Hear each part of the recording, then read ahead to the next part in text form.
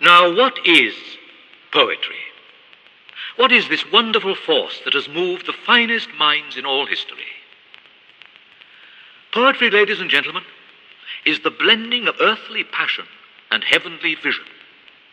Passion in pearls, creating legends in the wet, dark dusk, and squeezing out of a moment the nectar of an unborn joy.